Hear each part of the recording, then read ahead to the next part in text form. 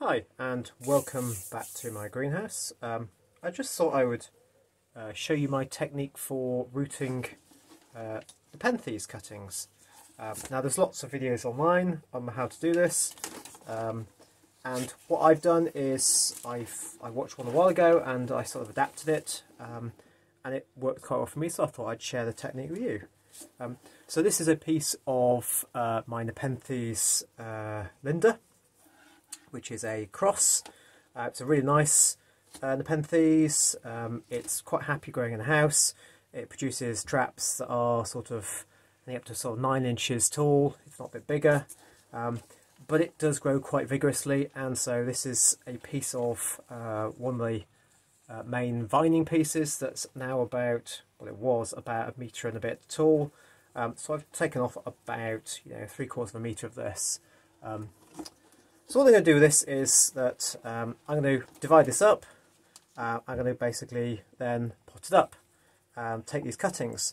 Now usually what I do is I take cuttings at uh, one or two leaves or two or three leaves. So you know you want a nice long bit of stem. Uh, we're going to cut it just above uh, the, the previous leaf joint. Then so count one, two leaves, and then cut it again, and then a couple of leaves cut it again. So out of this piece, I'm probably going to make about six, maybe seven cuttings. So if I just start off, um, like I said, this is a technique I uh, use that's worked quite well. I mean, I get um, sort of rooting rates of probably 80% or more, so I'm quite quite happy with it. Um, and it doesn't actually cost a great deal to actually do it. So what I'm going to do is I'm just cleaning off the end here. Um, nice part sharp pair of secateurs there and then I will basically cut two up. I'll try and leave as much as I can um, above uh, or, or, below the next leaf so there's plenty to go in the ground and start rooting from. Now usually when these things root they will root from uh, within the leaf node there also not root uh, they will actually sprout new growth from within the leaf node. Um, usually at the bottom one but sometimes at the top one um, it's easier if it's at the bottom, that's okay, but yeah, the top's alright. Um, so if I cut this one off about here, there's still room for it to uh, actually sprout out above that, so I'll just put this out of the way.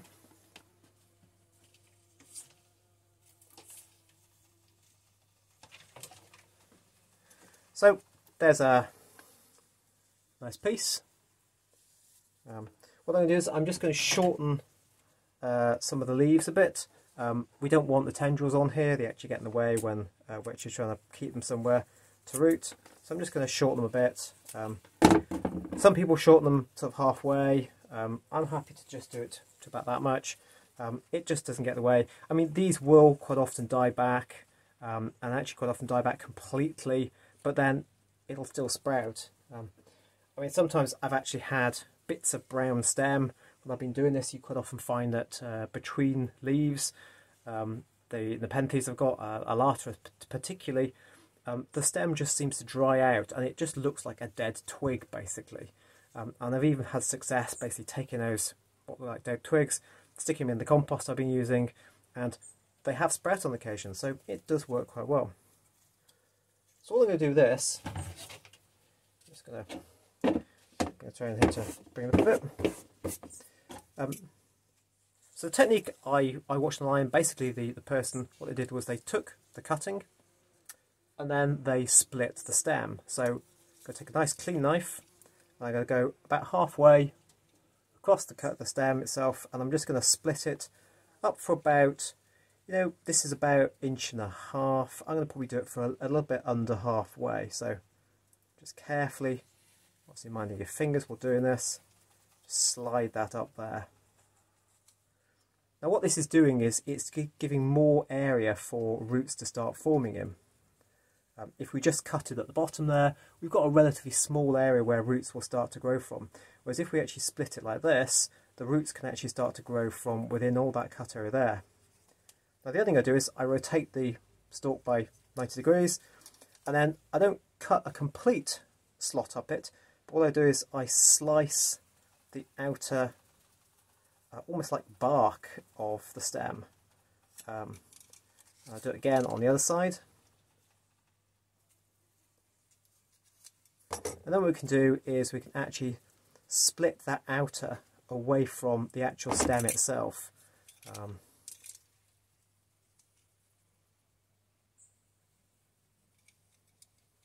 so I just do it where I've cut it. You see there, I basically, I'm lifting just the outer of the stem away. I just sort of do that all the way around. Again, it's just increasing the area from which roots will actually start to grow. Now, the one problem with this is that um, if you leave it like that, as you can see there, the, the cut I've made has now closed back up again. So we actually want to keep that open. So what I do for this is I tend to take a little bit of sphagnum moss, um, just sort of nip a bit of it off, fold it over, and then I just sort of carefully sort of, well, I was going to say carefully ram it up the end, but ramming doesn't sound particularly careful, but it does sort of do the job. So um, just gently open it up and split it. I'll just carefully push that in there.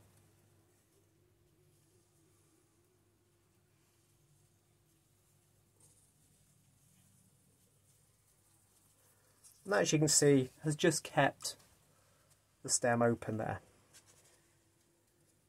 Now, the technique I'd seen for actually doing it this way, um, basically what they then did was they took this and they wrapped it in sphagnum moss and they put it in a pot and that's what the medium they used was. Um, now I have done that and the first few I did that worked quite well, I, I followed that technique really closely. I got some sphagnum moss, I wrapped it all up and it was okay. It worked in terms of rooting very successfully, but then when it came to actually um, picking them out and actually then growing them on once the roots had formed, it was a real pain to pick the sphagnum moss from around the roots. Um, now, the reason I tried to pick a lot of it out was that you know these things take quite a while to actually root. Um, the sphagnum can um, turn into quite a mush and it keeps the roots really quite wet. Um, and actually, I prefer to put my Nepenthes in a much more open compost.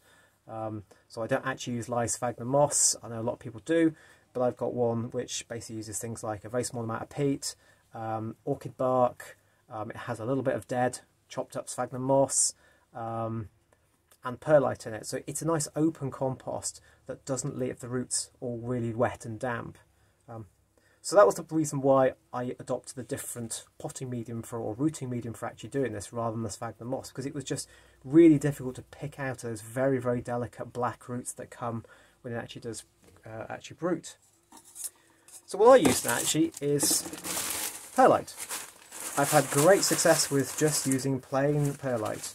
Um, it's quite nice in that, uh, like sphagnum moss, it doesn't really um, it almost inhibits growth of uh, sort of mould and things like that, slime mould, all those sort of things that you can sometimes get on the surface of compost when you've actually got cuttings in there. Um, and it, it's, it's nicely freely draining, um, but it holds enough water and moisture to keep you know, the cutting quite happy and actually allow it to, to root. Um, but with all the disadvantage, with all the removal of the disadvantage of trying to do it in normal compost. So this is what I use. So there, I've just filled my, my recycled pot with some uh, some perlite there. And this is actually perlite I've used for other rootings, but as you can see, it's still pretty clean, pretty good.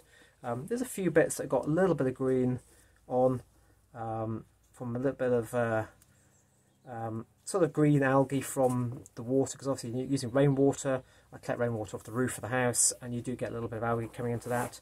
Um, but this does seem to um, work quite well. Now what I might need to do is actually just give this a bit of a damp this a bit, just so it sticks together a bit so I can make the hole, if you bear with me a minute.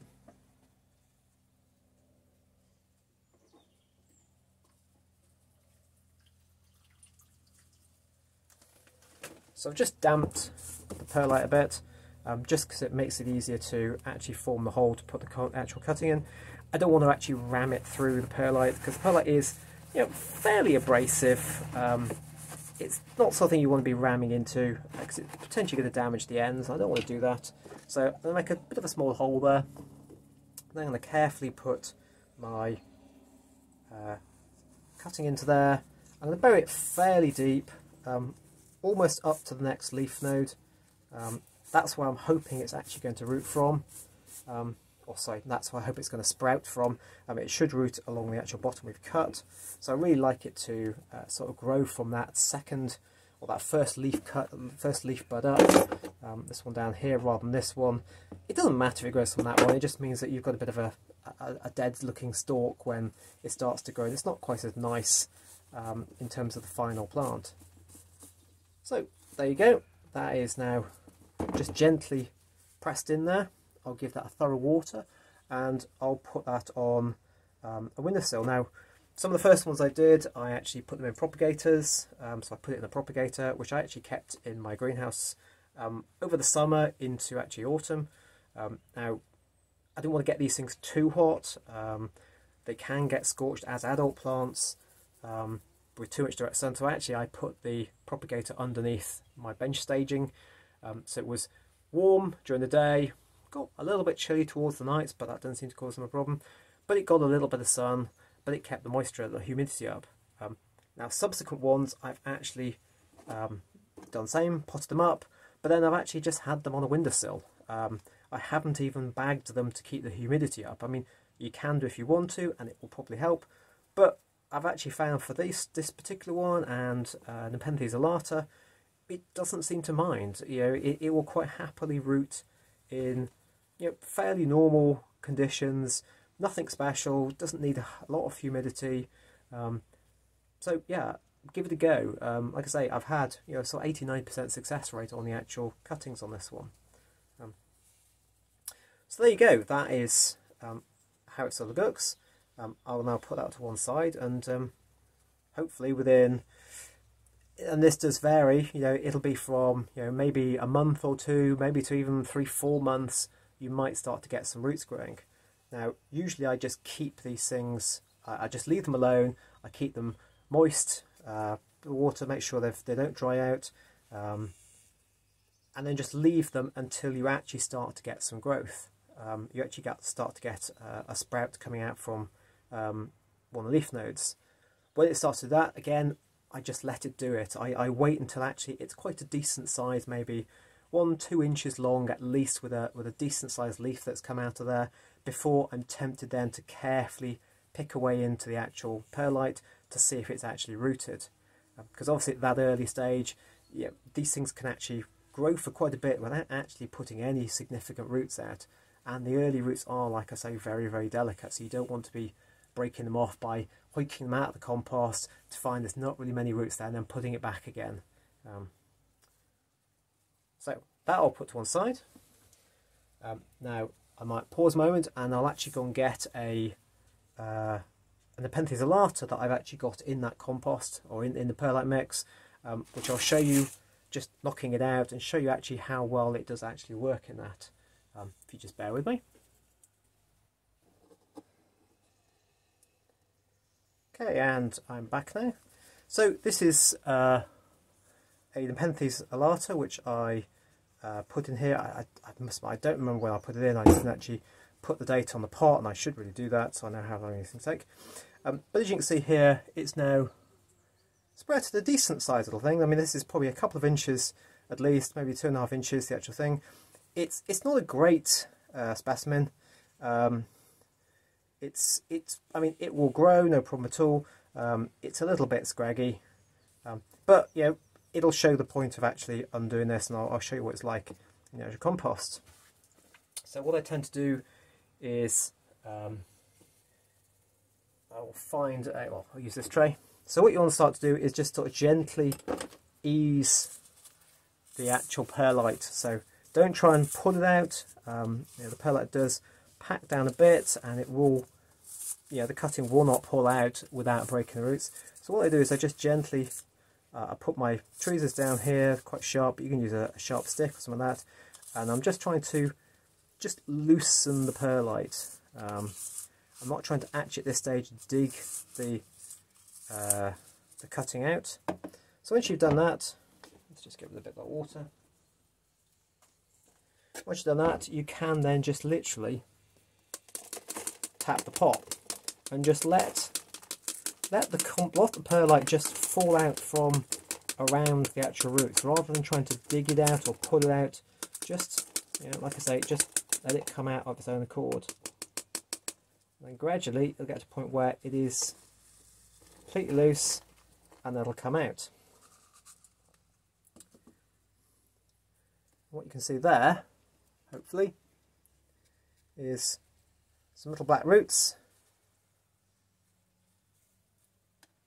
and you know, it's quite easy to very carefully either wash off or just pick off some of the bits of perlite. I mean, I don't mind there being some perlite on this because, like I say, the compost mix I use when I'm going to actually pot these up um, will have perlite in it, so having a little bit extra perlite is not a problem. And like I say, it doesn't go all manky like sphagnum can um, and start to sort of rot.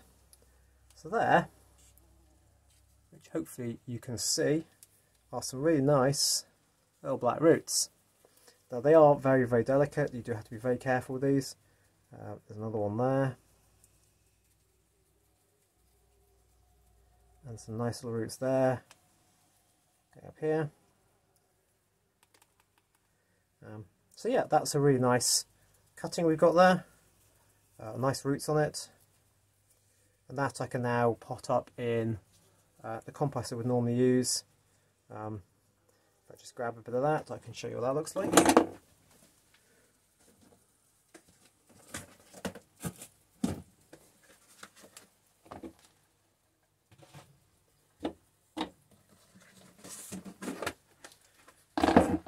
So like I say, the mix I use is, there's a little bit of peat in there, um, there's some orchid bark, um, there's some bits of just dried chopped sphagnum moss, um, and there's perlite in there as well.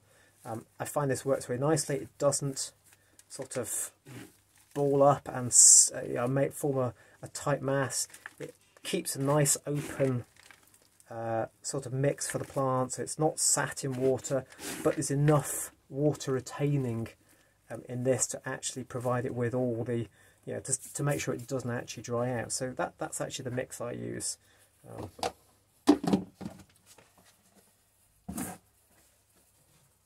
so I hope that was hope that was helpful. I hope that might um, prove useful for anybody out there that wants to uh, take some cuttings of the Nepenthes. I shall now trim this up a bit, so I'll take that bit of dead leaf off there.